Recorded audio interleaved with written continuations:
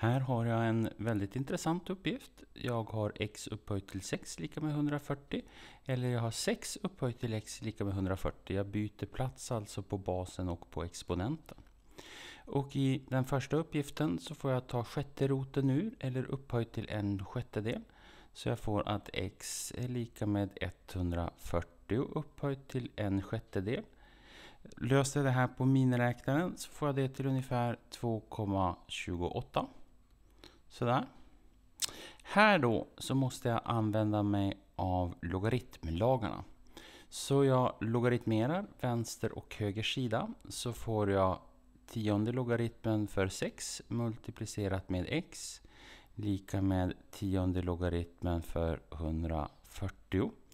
Dividerar med log 6 på båda sidor så får jag att x är lika med log 140 delat med log 6.